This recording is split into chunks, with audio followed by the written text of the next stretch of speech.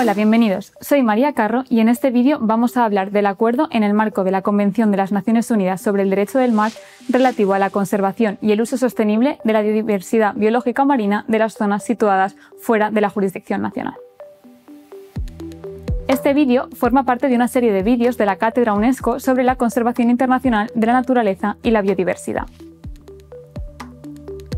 En junio de 2023, la prensa mundial se hizo eco del hito histórico que fue la adopción del acuerdo relativo a la conservación y el uso sostenible de la diversidad biológica marina de las zonas situadas fuera de la jurisdicción nacional, conocido popularmente por sus siglas en inglés como el Acuerdo BBNJ, Agreement on Biodiversity Beyond National Jurisdiction, y mal llamado por las redes como el Acuerdo de la Alta Mar o el Tratado de los Océanos. Este acuerdo regula la conservación y el uso sostenible de la diversidad biológica marina.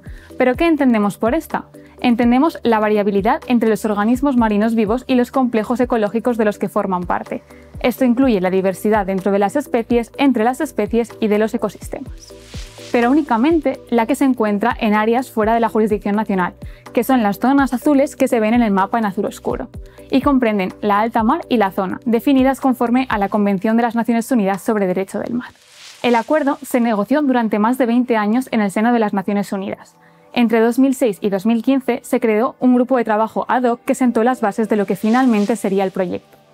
A raíz de los debates que se desarrollaron en las reuniones de este grupo, se establecieron los cuatro elementos sobre los que se basa el acuerdo. Entre 2016 y 2017 se creó el Comité Preparatorio, el cual se reunió con el fin de allanar el camino para las negociaciones en las conferencias intergubernamentales, que tuvieron lugar de 2018 a 2023. Originalmente se previeron únicamente cuatro conferencias, pero, consecuencia de los retrasos derivados de la pandemia de la COVID-19, así como de las discrepancias que persistían entre las delegaciones negociadoras, en algunos de los aspectos claves se acabaron celebrando cinco. La quinta conferencia intergubernamental fue dividida en dos periodos de sesiones durante el mismo año. El 4 de marzo de 2023, la presidenta de la conferencia anunció al mundo que el barco había llegado a la orilla, es decir, que se había alcanzado el consenso sobre el acuerdo.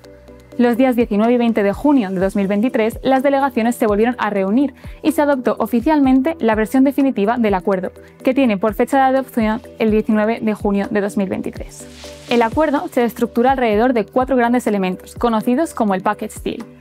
Estos son los recursos genéticos marinos, incluida la participación justa y equitativa en los beneficios, las medidas como los mecanismos de gestión basados en áreas, incluidas las áreas marinas protegidas, las evaluaciones de impacto ambiental y la creación de capacidad y transferencia de tecnología marina, así como una serie de cuestiones intersectoriales como son el mecanismo de financiación o los arreglos institucionales.